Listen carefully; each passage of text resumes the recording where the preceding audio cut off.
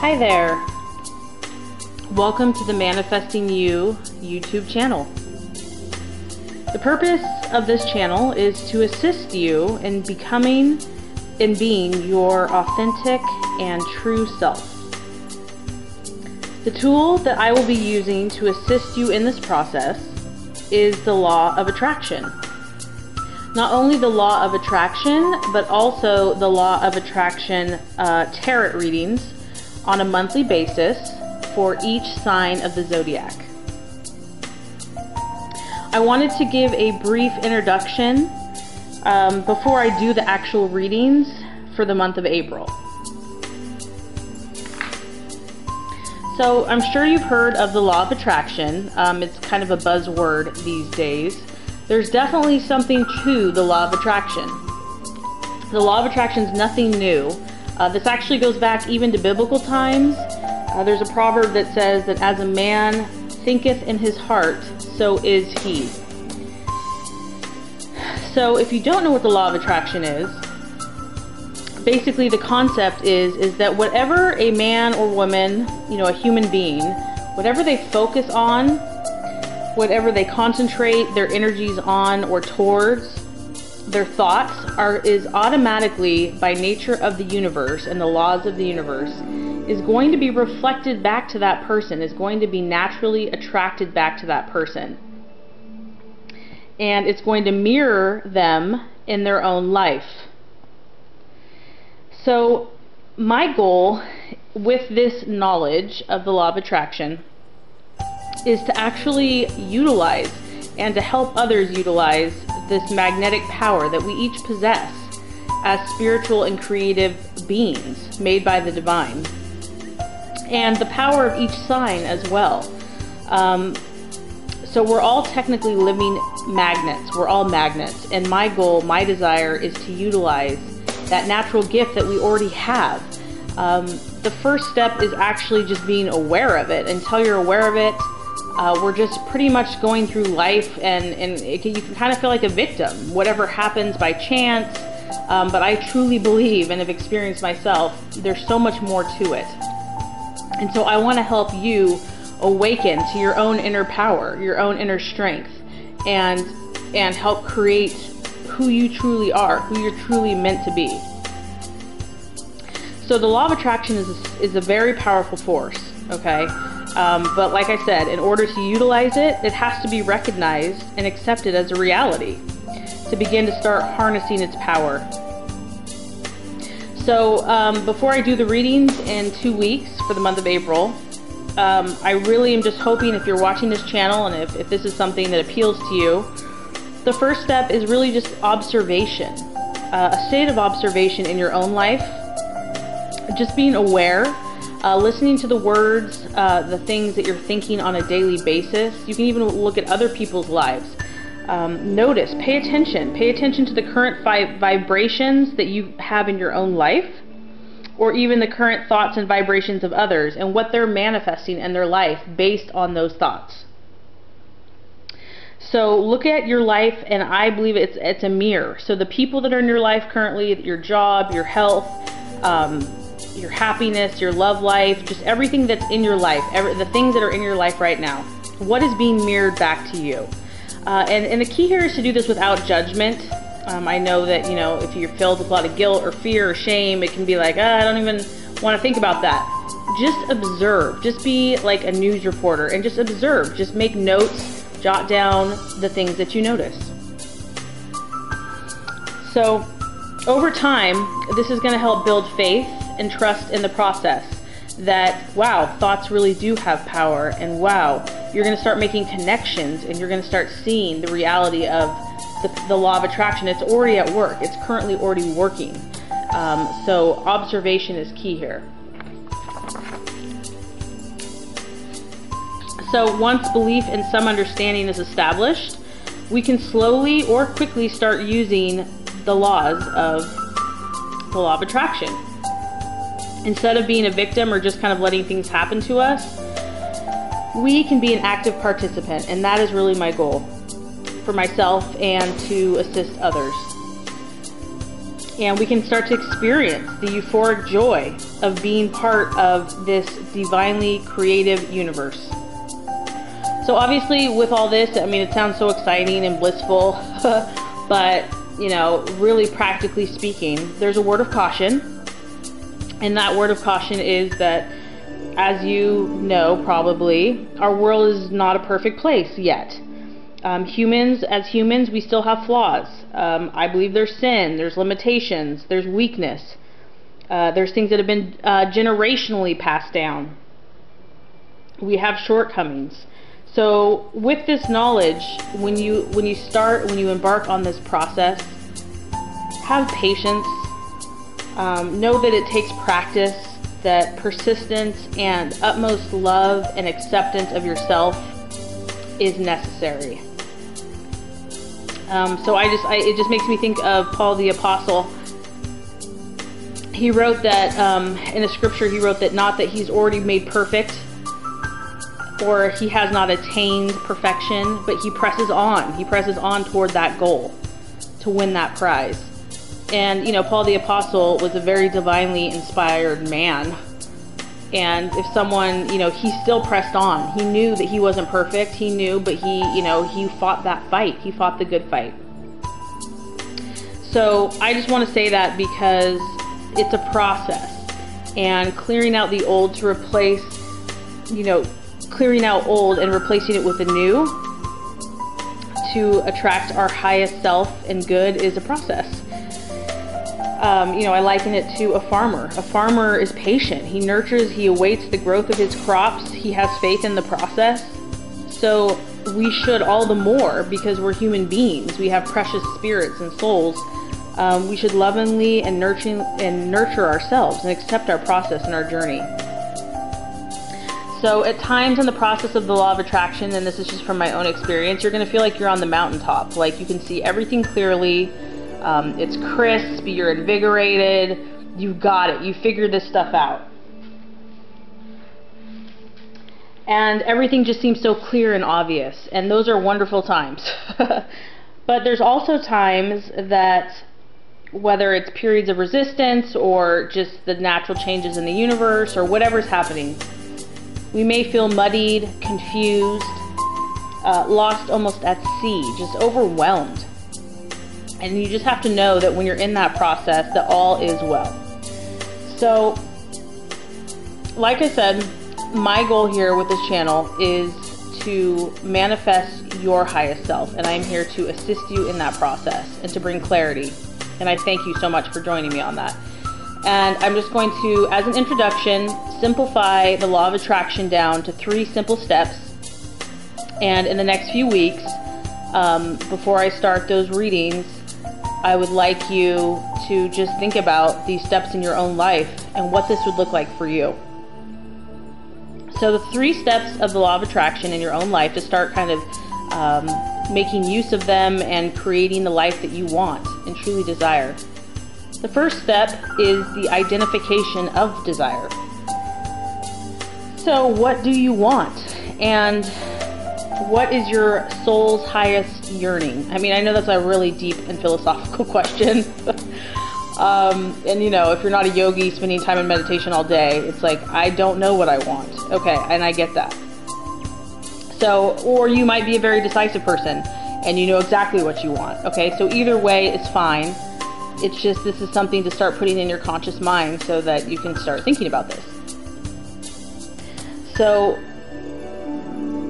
if you're having trouble, a one way to go about this is to think about the things you don't want in your life. So, for example, I don't, if one of my fears is I don't want to be alone, okay? All right, that's all I know. I just, I don't want to be alone. Well, think about the polar opposite of that. I have love and joy and tons of friends in my life. Okay, there you go. That is something that you truly want. So, if it's easier for you to think about the negative than the positive, think about the things that you don't want because we a lot of us you know negative thoughts are kind of easy to come by sometimes. So those are things that you're most afraid of. And then just do the polar opposite of what that negative thought is. That's going to give you an idea of what your soul truly desires. Maybe you're like me, where you just need to spend time alone. You just need to quiet yourself, get out of the hustle and bustle, allow yourself some time because you deserve it um, to just listen. Listen to your inner voice. Maybe it's been a while since you've done that. And you just need to clarify in yourself and listen. And maybe that's taking a walk. Maybe that's, you know, taking a drive. Maybe that is taking a bath. Maybe that's journaling. So, number one is just, even if it's just a day, and this doesn't even have to be every area of your life, it can just be one thing, just to start out, just to practice. Um, you know, just to listen to who you are and what you're desiring at this time. So, number one prop step is identifying your desire. So, once you know your desire, once you've gotten clear on that desire, the second step, and, and obviously these aren't things you're all going to do right now unless you want to, um, I'm just clarifying to you the overall picture of what the law of attraction is. The second step, once you have that desire, is it's now um, you're going to put the time, the energy, and the concentration to focus on that desire. This is where it's going to take focus and persistence. Day by day, you're going to create a plan to nurture, give attention to, like tending a garden. So if you literally went out and cultivated the soil and, and planted a few brand new seeds, it's time to nurture those on a daily basis. You can't just expect it to grow. You stick it in the ground and then expect, you know, nature to do the rest. You know that you play a part in that. Uh, so this is where you're going to nurture those thoughts and just persist and focus. And for some people, you know, if they're really in tune, they can manifest very quickly. And for others, there might be things that you don't see where things in the universe have to come together in order for your intention to manifest. You really can't judge the amount of time. That's not for you to really figure out. You just have to do the work of focusing on and showing intention onto your desire. Okay? Um, so step three. So once you've done that, now you, you've identified what you want, so you have clarity. You have put the time, the energy, you persevered, you have nurtured that idea that you that you want. You focused on it. The third step is going to be allow, allowing. I mean, there's topics that could be done on each one of this, these these subjects here. Um, this I believe is is maybe more difficult than the other two, maybe at least just for me. The allowing this is where and the reason for that is because when you you've already found out what you truly want, you put a ton of energy into it, and that that takes a lot of human will or desire. So once you have that intensity, which is beautiful, now you have to balance that out with allowing and that's almost like counter what you were just doing. It's counterintuitive. But once you've done all that and you put forth all that energy, now it's time to trust the process of the universe, okay? And I can just speak from my own experience. This is where I've had trouble. you know, some people are kind of go with the flow and they just like let it flow, but they might be a little more indecisive about what they want. And then you have other people who know what they want, but they have a hard time allowing. So that's kind of where, you know, I fell into. And so it's all about learning to balance our energies. So, and, and the reason that allowing is necessary is, is a basic premise here, and that is that we are not in charge. And we are human beings, which we definitely have power. We are powerful creators. But there is a natural law. There's natural laws of the universe that we cannot control. And I know that's like obvious, but sometimes consciously we don't act that way. So basically, our last step here is going to know our own place in the universe, knowing that it's not our job to make everything manifest. We've done our work, we've planted our seeds, and now we can trust the natural power of the universe to create it. Like we don't make the plant grow we you know we do the work we put forth the steps but we have faith because we know that there is an energy which i believe is god that is going to bring it to life and um, that is, it's, it's almost like a humility and a wisdom when we can surrender to this. Okay, so we surrender to this to this utmost wisdom and supremacy, and we know that the things that we've desired will manifest perfectly for us. Okay, so let me give you an example of this. Say I am attracting love into my life. I'm attracting an awesome man that I love.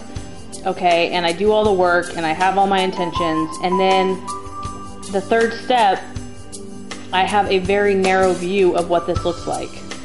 And I I've done the work, but this person is going to look a certain way. They're going to be a certain height, they're going to be a certain age.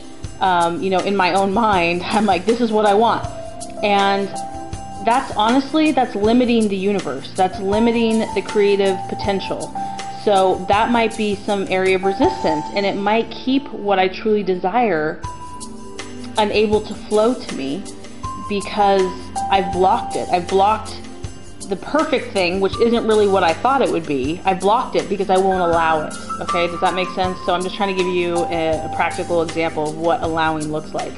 So if I said I am going to attract someone that I love and a man that I love and you know, but I don't really put limitations on what that's going to look like, it's going to come to me so much faster because there is an infinite, creative, all-knowing, omnipotent something bigger than us that knows a little bit more than we do. and I know that sometimes that's hard to swallow, but the quicker that you can grasp that, oh, it's going to save you so much trouble, and I want to save you trouble. Um, so when we allow, we allow it to manifest perfectly and trust that it's going to manifest perfectly. There's infinite possibilities there, and it's exciting. It's like, okay, what's it's almost anticipation. You don't have to figure it all out. I mean, it's kind of refreshing in a way. I mean, there's a certain there's a certain power in feeling like you're in control, but it's exhausting. It's exhausting to have to control everything. Um, so when we can let go of that and just let another power that is greater than us do that work, that magical creation, we are going to be a lot happier people. So, as human beings here, our duty is to first know ourselves. I mean, you can't really you can't really do anything if you don't know yourself. Otherwise, you're just kind of blowing with the whims of people's opinions and society and you know, who are you? What is that divine inspiration in you? Okay? So, the next couple weeks, take a day or two and just get to know yourself, get to know you and your inner voice and and listen. And I know there's you know sometimes that's scary because it's like I don't want to you know we there's kind of a fear of being with the self and and just if that happens just jot that down. Don't judge it. Just be aware. Be aware that there's a lot of anxiety there. Um, that's part of this process okay? So there's really no right or wrong. I just want to help you start focusing on you and listening to your inner self. Okay, and so once we kind of get to know ourselves, then we then the creative process begins. Then we can, you know, clarify our desires. We can start seeking them steadily. And we can watch and wait with flexibility, belief, being adaptive, and allowing. And that is true happiness in my in my opinion. That is a fulfilling life, and that is your that is what you're meant to do. That is what who you're meant to be. That is a way for God to manifest His highest self in your highest happiness and greatest self, and to show that to the world. So I hope all this makes sense. Um, and and the other thing I wanted to mention real quick is the readings that I'm going to start to be um, doing April 1st for all the different zodiac signs um, is called the Law of Attraction Tarot. And I'm super excited about this because it is these are readings that are specifically designed to assist you in manifesting your true desires um, in your life. I mean, it is made. It are these are tarot readings that are going to um, bring clarity to you by sign and they're going to be general readings, obviously, but they definitely are going to apply and they're going to be an amazing starting point. They're going to give you pictures, ideas, images of things that are possibly blocking you or um, things that will help expedite the process. It's going to bring awareness. And the goal of these readings is to bring you from your current state. So for that month, um, you know, what you're feeling at that time, what you're going through, what you're experiencing. The goal is to get you to your desired state month by month. And this is this process and this journey that we're going to embark on. So, super excited, super excited um, about turning your highest and best desires and self into reality and manifesting the true and authentic person that you are created to be. And I thank you so much for watching this video and bearing with me. Um, if you feel inspired and this is something that you are, you know, feeling excited about, I would love it if you subscribed so that you can get those readings to you and start kind of working on your own journey. I totally appreciate the likes and uh, your communication, and um, I'm just excited about this this journey. So thank you so much, and I will see you soon.